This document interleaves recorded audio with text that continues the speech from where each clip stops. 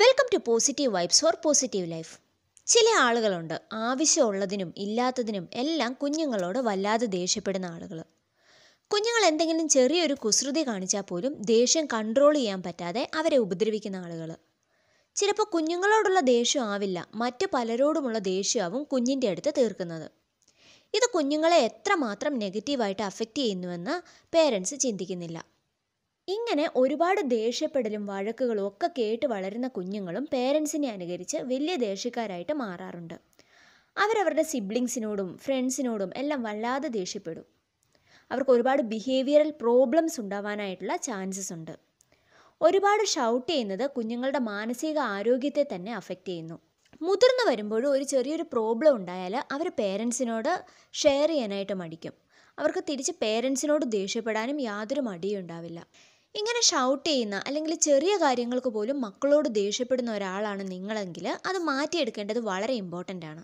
അപ്പോൾ ഇങ്ങനെ കുഞ്ഞുങ്ങളോട് ഷൗട്ട് ചെയ്യുന്ന അല്ലെങ്കിൽ വല്ലാണ്ട് ദേഷ്യപ്പെടുന്ന മാതാപിതാക്കൾക്ക് ഇത് മാറ്റിയെടുക്കാൻ വേണ്ടിയിട്ടുള്ള കുറച്ച് ടിപ്സാണ് ഇന്നത്തെ വീഡിയോയിൽ ഞാൻ ഷെയർ ചെയ്യുന്നത്. ഒന്നാമത്തെ കാര്യം എപ്പോഴും നിങ്ങൾ ഓർമ്മിക്കുക ഇതൊരു കുട്ടിയാണ്. അവരോട് കുട്ടികളോട് എന്ന രീതിയിൽ പെരുമാറുക. ഒരു കുട്ടി എന്ന കൺസിഡറേഷൻ എപ്പോഴും ആ കുഞ്ഞിന് കൊടുക്കുക. അല്ലാണ്ട് മുതിർന്ന ആളുകളോട് എന്ന രീതിയിൽ നമ്മൾ ദേഷ്യപ്പെട്ട് കഴിഞ്ഞാൽ അല്ലെങ്കിൽ വല്ലാണ്ട് ഷൗട്ട് ചെയ്ത് കഴിഞ്ഞാൽ ഈ കുട്ടി വല്ലാണ്ട് പേടിച്ചു പോകും. അവരുടെ മൈൻഡിൽ വല്ലാത്ത ഒരു ടെൻഷനോ സ്ട്രെസ്സോ ഒക്കെ ഉണ്ടാവാനായിട്ട് ഇത് കാരണമാകും. അതുപോലെ തന്നെ എന്തിനാണ് ഈ കുട്ടിയെ ഷൗട്ട് ചെയ്യുന്നതെന്ന് അതിന് മനസ്സിലാവില്ല. ചിലപ്പോൾ മാതാപിതാക്കളുടെ മനസ്സിൽ വേറെ എന്തെങ്കിലും ടെൻഷനായിട്ടിരിക്കുമ്പോഴായിരിക്കും കുട്ടി എന്തെങ്കിലും ചെറിയൊരു കുരുത്തക്കേട് കാണിക്കുന്നത്. അപ്പോൾ അത് എന്താണെന്ന് പറഞ്ഞു കൊടുത്ത് തിരുത്താനുള്ളതിന് പകരം പേരൻസ് ദേഷ്യപ്പെട്ട് തുടങ്ങിയാൽ കുട്ടിക്ക് മനസ്സിലാവില്ല ഞാൻ എന്ത് തെറ്റാണ് ചെയ്തതെന്ന്. അത് തിരുത്തി കൊടുക്കുന്നതിന് പകരം ആവശ്യമില്ലാണ്ട് ഷൗട്ട് ചെയ്തുകൊണ്ടിരുന്നാൽ കുട്ടി വല്ലാണ്ട് പേടിക്കും. അതുപോലെ തന്നെ കുട്ടിക്ക് നമ്മളോട് എന്തെങ്കിലും ഒന്ന് ഓപ്പണായിട്ട് സംസാരിക്കാൻ പേടിയായിട്ട് മാറും. അപ്പോൾ ഇവരെപ്പോഴും ചെറിയ കുട്ടികളാണെന്നുള്ള കൺസിഡറേഷൻ അവർക്ക് കൊടുക്കുക.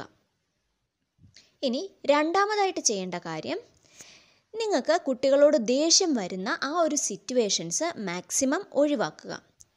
അതായത് ചില സമയത്ത് കുട്ടികൾ എത്ര പറഞ്ഞാലും അനുസരിക്കില്ല. അപ്പോൾ അങ്ങനെ വരുമ്പോൾ നമുക്ക് ഓട്ടോമാറ്റിക്കലി നല്ല ദേഷ്യം വരും. അപ്പോൾ ഈ ഒരു സമയത്ത് നമ്മൾ അവിടെ നിന്ന് മാറി നിൽക്കുക. മനഃപൂർവം നമ്മുടെ ദേഷ്യം കൺട്രോൾ ചെയ്യാനായിട്ട് നമ്മൾ തന്നെ ട്രൈ ചെയ്യുക. കാരണം ഒരുപാട് ദേഷ്യപ്പെട്ടാലും അടിച്ചാലും ഒന്നും കുട്ടികളുടെ ക്യാരക്ടറിൽ വലിയ ഡിഫറൻസ് ഒന്നും വരില്ല. അവർ കുട്ടികളാണ് അവർ ചെയ്യുന്ന കാര്യം തന്നെ വീണ്ടും റിപ്പീറ്റ് ചെയ്തുകൊണ്ടിരിക്കും. അപ്പോൾ അത് മനസ്സിലാക്കി നമ്മൾ പെരുമാറുക എന്നുള്ളതാണ് രണ്ടാമത്തെ കാര്യം. നമുക്ക് നമ്മുടെ ഇമോഷൻസിനെ തന്നെ കൺട്രോൾ ചെയ്യാൻ പറ്റുന്നില്ല. അപ്പോൾ ചെറിയ കുട്ടികൾ അവരുടെ ഇമോഷൻസിനെ എല്ലാം കൺട്രോൾ ചെയ്ത് ഒരു കുരുത്തക്കേടും കാണിക്കാതെ നല്ല കുട്ടികളായിട്ടിരിക്കണം എന്ന് പറയുന്നതിൽ എന്തെങ്കിലും കാര്യമുണ്ടോ? അപ്പോൾ നമുക്ക് ദേഷ്യം വരുന്ന ആ ഒരു സിറ്റുവേഷൻ ആണെന്ന് മനസ്സിലാകുമ്പോൾ നമ്മൾ തന്നെ ഒന്ന് മാറി നിൽക്കുക. നമ്മൾ നമ്മുടെ ദേഷ്യത്തെ ആദ്യം കൺട്രോൾ ചെയ്യുക. ഇനി മൂന്നാമതായിട്ട് ചെയ്യാൻ പറ്റുന്ന ഒരു കാര്യം കുട്ടികൾ ഒരുപാട് കുരുത്തക്കേട് കാണിക്കുമ്പം നമുക്ക് വല്ലാണ്ട് ഷൗട്ട് ചെയ്യാനായിട്ട് വരുന്ന സമയത്ത് നന്നായിട്ടൊന്ന് ബ്രീത്ത് ഇൻ ചെയ്യുക ബ്രീത്ത് ഔട്ട് ചെയ്യുക. നമ്മൾ നന്നായിട്ടൊന്ന് ബ്രീത്ത് ചെയ്യുമ്പോൾ തന്നെ നമ്മുടെ ഇമോഷൻസിനെ നമുക്ക് കൺട്രോൾ ചെയ്യാൻ പറ്റും. കുട്ടികളോട് അനാവശ്യമായിട്ട് ദേഷ്യപ്പെടുന്നതിന് പകരം നിങ്ങൾ നിങ്ങളെ തന്നെ നന്നായിട്ട് ഇങ്ങനെ ഒന്ന് കൺട്രോൾ ചെയ്തതിന് ശേഷം പിന്നീട് കുട്ടികളെ കാര്യം സമാധാനപൂർവം പറഞ്ഞ് മനസ്സിലാക്കാനായിട്ട് ട്രൈ ചെയ്യുക. ഇനി അടുത്തതായിട്ട് നിങ്ങൾക്ക് ചെയ്യാൻ പറ്റുന്ന കാര്യം വഴക്ക് പറയുന്ന അല്ലെങ്കിൽ നിങ്ങൾ വല്ലാണ്ട് ദേഷ്യപ്പെടുന്ന ഈ ഒരു സിറ്റുവേഷനിൽ രണ്ട് കാര്യം നിങ്ങളുടെ മനസ്സിൽ ആലോചിക്കുക. അതിനുശേഷം മാത്രം കുഞ്ഞുങ്ങളോട് ദേഷ്യപ്പെടുക. ഒന്നാമത്തെ കാര്യം ഇപ്പോൾ ഈ ദേഷ്യം ഈ കുഞ്ഞ് അർഹിക്കുന്നുണ്ടോ? അതായത് ചിലപ്പോൾ കുട്ടികൾ ചെയ്ത ആ ഒരു കാര്യത്തിനായിരിക്കില്ല നമ്മൾ അവരോട് ദേഷ്യപ്പെടുന്നത്.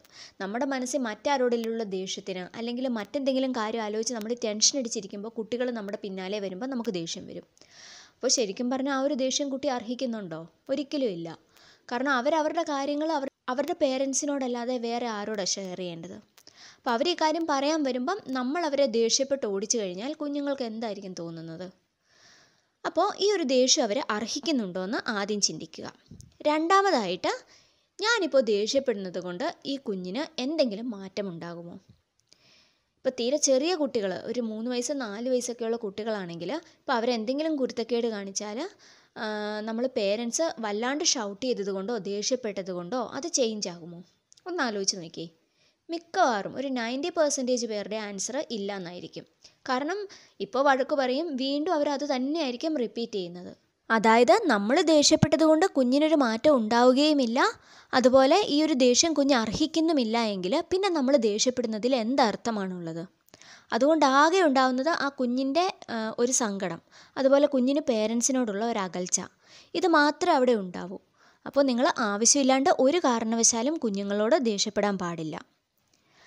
ഇനി അവർ ചെയ്യുന്നത് തെറ്റാണ് എങ്കിൽ പോലും നിങ്ങൾ ആ ഒരു സമയത്ത് നിങ്ങളുടെ ദേഷ്യം മുഴുവനായിട്ട് ആ കുഞ്ഞുങ്ങളുടെ മേലെ തീർക്കുന്നതിന് പകരം നിങ്ങളുടെ ദേഷ്യം ഒന്ന് കൺട്രോളിലായതിന് ശേഷം അല്ലെങ്കിൽ ആ ഒരു സിറ്റുവേഷൻ നിങ്ങളൊന്ന് മാനേജ് ചെയ്തതിന് ശേഷം പിന്നീട് എപ്പോഴെങ്കിലും കുട്ടിയെ ഒന്ന് മാറ്റി നിർത്തി അതിനെപ്പറ്റി സംസാരിക്കുക. നീ ചെയ്തത് തെറ്റാണ് ഇനി അങ്ങനെ ചെയ്യാൻ പാടില്ല.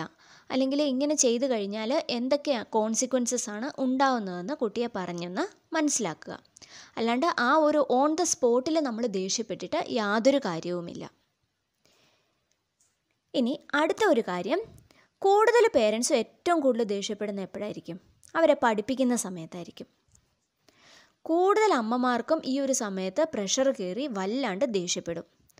പറയുന്നത് പോലെ ചെയ്യാതിരിക്കുമ്പോൾ പലർക്കും ദേഷ്യം കൺട്രോൾ ചെയ്യാൻ പോലും പറ്റാതെയാവും. ഈ ഒരു സമയത്ത് ഇപ്പം ഞാനൊരു അമ്മയാണ്. ഞാൻ എന്റെ രണ്ട് കുട്ടികളെയും പഠിപ്പിക്കാനിരിക്കുന്ന സമയത്താണ് എനിക്ക് ഏറ്റവും കൂടുതൽ ദേഷ്യം വരുന്നത്. കാരണം നമ്മളൊരു കാര്യം ചെയ്യാൻ പറയും അവർ എഴുതി വെക്കുന്നത് വേറെ ആയിരിക്കും അല്ലെങ്കിൽ അവർ ആവശ്യമില്ലാണ്ട് നിർബന്ധം എടുത്തുകൊണ്ടിരിക്കും. എനിക്കിപ്പോൾ എഴുതണ്ട ഞാൻ കുറച്ച് കഴിഞ്ഞ് എഴുതാം. ഈ കുറച്ച് കഴിഞ്ഞ് അവരെ വിളിക്കുമ്പോൾ അവർ പറയും ഞാൻ മടുത്തു. അല്ലെങ്കിൽ എനിക്ക് ഇത്ര എഴുതാൻ വയ്യ. ഇതിന്റെ പകുതി അമ്മ എഴുതിത്താ. ഇത്ര ഞാൻ പഠിക്കില്ല. ഈ സ്പെല്ലിങ് പാടാ. ഇപ്പം ഇങ്ങനെ ഓരോന്ന് പറഞ്ഞുകൊണ്ടിരിക്കും. ഇനി നമ്മൾ ഒരു വിധത്തിൽ പഠിപ്പിച്ച് തുടങ്ങിക്കഴിഞ്ഞാൽ അവർ ഒട്ടും ശ്രദ്ധിക്കില്ല. അവർ വേറെ എന്തെങ്കിലും കാര്യങ്ങളിൽ അതിന്റെ ഇടയ്ക്ക് എൻഗേജ്ഡ് ആവാൻ പോകും വേറെ എന്തെങ്കിലും ചിന്തിച്ചിരിക്കും.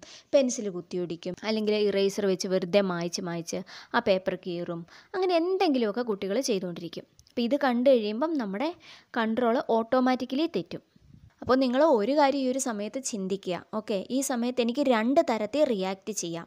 ഒന്നെങ്കിൽ കുട്ടി ഒരുപാട് സ്ട്രെസ്ഡ് ആയിട്ടിരിക്കുക അല്ലെങ്കിൽ ഒരുപാട് നിർബന്ധം എടുത്തിരിക്കുകയാണെങ്കിൽ ആ ഒരു പ്രോസസ്സ് അവിടെ അവസാനിപ്പിച്ചിട്ട് കുറച്ച് കഴിഞ്ഞ് കുട്ടികൾ കാമായിട്ടിരിക്കുന്ന സമയത്ത് നമുക്ക് പഠിപ്പിക്കാനായിട്ട് വിളിക്കാം. അല്ലെങ്കിൽ ആ ഒരു സമയത്ത് തന്നെ ആവശ്യമില്ലാണ്ട് അടിച്ചും ഷൗട്ട് ചെയ്തും വഴക്കു പറഞ്ഞും നിർബന്ധിച്ച് കുട്ടികളെയും കൊണ്ട് പഠിപ്പിക്കാം.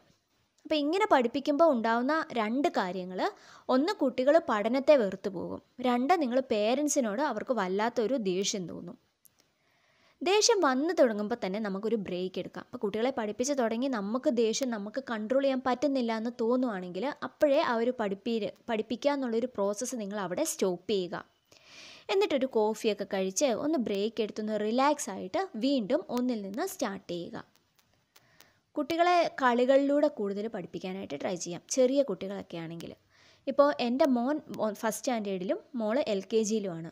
അപ്പോൾ ഞാൻ കൂടുതലും ഇവരെ ഇരുത്തി പഠിപ്പിക്കാറില്ല. കാരണം ഇരുന്ന് പഠിക്കാനായിട്ട് രണ്ട് പേർക്കും മടിയാണ്. അപ്പോൾ അത്യാവശ്യം ഹോംവർക്കൊക്കെ എഴുതി കഴിഞ്ഞ് ഈ സ്പെല്ലിംഗ് ഒക്കെ ഞാൻ പഠിപ്പിക്കുന്നത് ഒന്നെങ്കിൽ എന്തെങ്കിലും കളിച്ചുകൊണ്ട് അവർ ഇരിക്കുന്ന സമയത്ത് ഓരോ സ്പെല്ലിംഗ് ഇടയ്ക്ക് അടുത്ത് പോയി പറഞ്ഞു കൊടുക്കും. അതുപോലെ രാത്രിയിൽ കിടക്കുന്ന സമയത്ത് ഞാൻ ഓരോ സ്പെല്ലിംഗ് ഒക്കെ പറഞ്ഞു കൊടുക്കും. രാവിലെ എഴുന്നേൽക്കുന്ന സമയത്ത് പറഞ്ഞു കൊടുക്കും. ഈ ഒരു സമയത്തൊക്കെ നമ്മൾ പഠിപ്പിച്ചു കഴിഞ്ഞാൽ കുട്ടികളുടെ സബ് കോൺഷ്യസ് മൈൻഡിൽ അത് പെട്ടെന്ന് പതിയും. അപ്പോൾ അവർ മറന്നു പോകാതിരിക്കാനായിട്ട് ഇത് ഹെൽപ്പ് ചെയ്യും. അതുപോലെ ഓരോരോ കളികളിലൂടെ ഞാൻ പഠിപ്പിക്കാറുണ്ട്. ഇപ്പം ഒരു സ്പെല്ലിംഗ് ഇപ്പോൾ കളേഴ്സിന്റെ സ്പെല്ലിംഗ് ആണെങ്കിൽ ഒരു കളർ പറഞ്ഞു കൊടുത്തിട്ട് ഒരു റൗണ്ട് ഓടിയിട്ട് വരാൻ പറയും. അപ്പോൾ ഓടുന്ന സമയത്ത് ഈ ഒരു കളറിന്റെ സ്പെല്ലിങ് പഠിച്ചിട്ട് വേണം വരാനെന്ന് പറയും. അപ്പോൾ ഇങ്ങനെയൊക്കെ പഠിക്കുമ്പോൾ കുട്ടികളത് ഓട്ടോമാറ്റിക്കലി പഠിച്ചോളും. അല്ലാണ്ട് നമ്മൾ ഇരുന്ന് എഴുതി തന്നെ പഠിക്കണം ഉറക്കെ വായിച്ച് തന്നെ പഠിക്കണം ഈ ഒരു സ്പെല്ലിംഗ് ഇപ്പം നീ എന്നെ പറഞ്ഞു കേൾപ്പിക്കണം അത് തെറ്റിയാൽ അടി കൊടുക്കുക. അപ്പോൾ ഇങ്ങനെ പണിഷ്മെന്റ് കൊടുത്തുകൊണ്ട് പഠിപ്പിച്ചു കഴിഞ്ഞാൽ കുട്ടികൾക്ക് പഠനം എന്ന പ്രോസസ്സിനോട് തന്നെ ദേഷ്യമായി പോകും. അപ്പോൾ നിങ്ങൾ പഠിപ്പിക്കുന്ന സമയത്ത് മാക്സിമം റിലാക്സ്ഡ് ആയിട്ടിരിക്കാനായിട്ട് ട്രൈ ചെയ്യുക. ദേഷ്യം വരികയാണെങ്കിൽ അവിടെ വെച്ച് ആ പഠിപ്പീര് സ്റ്റോപ്പ് ചെയ്യുക. അതുപോലെ തന്നെ നിങ്ങൾക്ക് ചെയ്യാൻ പറ്റുന്ന വേറൊരു കാര്യം പോസിറ്റീവായി നല്ല ഹാപ്പിയായി നല്ല പീസ്ഫുള്ളായിട്ട് കുഞ്ഞുങ്ങളുടെ കൂടെ സമയം ചെലവഴിക്കുന്നതായിട്ട് നിങ്ങൾക്ക് വിഷ്വലൈസ് ചെയ്യാൻ പറ്റണം. അങ്ങനെ നിങ്ങൾ ഇടയ്ക്കിടയ്ക്ക് നിങ്ങൾ ചിന്തിച്ച് കഴിയുമ്പം നിങ്ങൾ ഓട്ടോമാറ്റിക്കലി അങ്ങനെയായിട്ട് മാറും. എപ്പോഴും കുഞ്ഞുങ്ങളുടെ അടുത്ത് ദേഷ്യപ്പെടാനും വഴക്ക് പറയാനും മാത്രമായിട്ട് നടക്കുന്ന ഒരു പേരന്റിനെ അവർക്ക് ആവശ്യമുണ്ടോ? ഇല്ല. കുട്ടികൾ ആഗ്രഹിക്കുന്നത് എന്താ? അവരുടെ കൂടെ കളിക്കുന്ന അവർക്ക് കഥകൾ പറഞ്ഞു കൊടുക്കുന്ന അവരുടെ കൂടെ കുറേ സമയം സ്പെൻഡ് ചെയ്യുന്ന അവർ പറയുന്നതൊക്കെ കേൾക്കുന്ന ഒരു നല്ല പേരന്റിനെയാണ് അവർ എക്സ്പെക്റ്റ് ചെയ്യുന്നത്. നമ്മൾ കുട്ടികളുടെ കാര്യത്തിൽ ഈ ഒരു എക്സ്പെക്റ്റേഷൻ നമുക്ക് കാണും. അതായത് എന്ത് പറഞ്ഞാലും അനുസരിക്കുന്ന നന്നായിട്ട് പെരുമാറുന്ന നല്ല ബുദ്ധിയുള്ള നല്ല കുട്ടികൾ വേണം കുട്ടികളായിട്ട് വേണം നമ്മുടെ കുട്ടികൾ വളരാനെന്ന് നമ്മൾ ആഗ്രഹിക്കും അതുപോലെ തന്നെ അവർക്കും എക്സ്പെക്റ്റേഷൻ ഉണ്ട്. എന്റെ പേരന്റ് ഇങ്ങനെ ആയിരിക്കണം എന്റെ അമ്മ എന്നോട് ഇങ്ങനെ പെരുമാറണം. അപ്പോൾ അങ്ങനെ നല്ലൊരു അമ്മയായിട്ട് നമ്മൾ മാറുന്നത് നമ്മൾ വിഷ്വലൈസ് ചെയ്യുക. ഇനി ഈ പറഞ്ഞ കാര്യങ്ങളൊക്കെ ട്രൈ ചെയ്തിട്ടും നിങ്ങളുടെ ദേഷ്യത്തിന് യാതൊരു വ്യത്യാസവുമില്ല. നിങ്ങളുടെ വീട്ടിൽ നിങ്ങളും കുഞ്ഞുങ്ങളുമായിട്ട് എന്നും അടിയും വഴക്കുമാണ് എന്നുണ്ടെങ്കിൽ നിങ്ങൾക്ക് നല്ലൊരു കൗൺസിലറുടെ സഹായം തേടാം. മേ ബി നിങ്ങളുടെ ക്യാരക്ടറിലുള്ള എന്തെങ്കിലും ഒരു പ്രോബ്ലം കൊണ്ടായിരിക്കും നിങ്ങൾക്ക് നിങ്ങളുടെ ആങ്കർ മാനേജ് ചെയ്യാൻ പറ്റാത്തത്. അതിന് നല്ലൊരു കൗൺസിലിങ്ങിലൂടെ നമുക്ക് ചേഞ്ച് വരുത്താനായിട്ട് പറ്റും. അപ്പോൾ കുഞ്ഞുങ്ങളെ നല്ല പീസ്ഫുള്ളായിട്ട് വളർത്താൻ ഒരുപാട് ദേഷ്യപ്പെടാതെ അടിക്കാതെ നമ്മൾ ഷൗട്ട് ചെയ്യാതെ കുഞ്ഞുങ്ങളെ അവരുടെ ഇഷ്ടത്തിനനുസരിച്ച് അവരെ ഒരുപാട് സ്നേഹിക്കുന്ന അവരെ ഒരുപാട് ഹെൽപ്പ് ചെയ്യുന്ന അവർക്ക് എന്തിനും സപ്പോർട്ടായിട്ട് നിൽക്കുന്ന നല്ല പേരൻസ് ആയിട്ട് നമുക്ക് മാറാനായിട്ട് ട്രൈ ചെയ്യാം. ഇന്നത്തെ ഈ ഒരു വീഡിയോ എല്ലാവർക്കും യൂസ്ഫുൾ ആയി എന്ന് വിചാരിക്കുന്നു. ഈ ഒരു വീഡിയോ ഇഷ്ടപ്പെട്ടെങ്കിൽ ലൈക്ക് ചെയ്യുക. അതുപോലെ നിങ്ങളുടെ അഭിപ്രായങ്ങളും നിർദ്ദേശങ്ങളും സംശയങ്ങളും ഒക്കെ താഴെ കമന്റ് ബോക്സിൽ കൊടുക്കുക. വീണ്ടും പുതിയൊരു വീഡിയോയുമായിട്ട് കാണാം. ബൈ